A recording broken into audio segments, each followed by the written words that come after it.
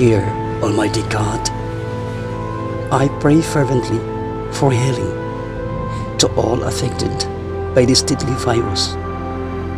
Lord, you are the only source of healing, and only you can move in a mighty way and do the impossible for them. I pray for all negative outcomes be resolved by your healing hands. Please uncover each and every single person and bring whole healing to their bodies from the top of their head to the soles of their feet.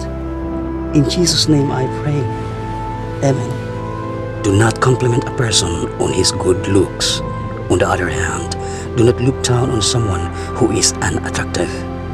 Compared to most flying things, a bee is very small, but the honey it makes is the sweetest of foods. Don't make fun of someone who has fallen on hard times and is dressed in rags.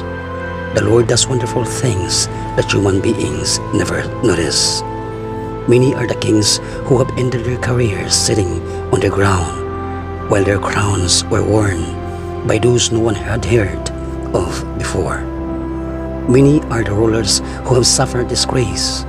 Many are the famous people who have fallen into the power of others.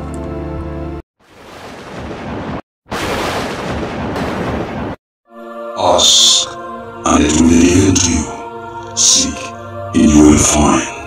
Knock, and door will be opened to you. For every who asks receives, the one who seeks finds, and to the one who knocks, the door will be opened.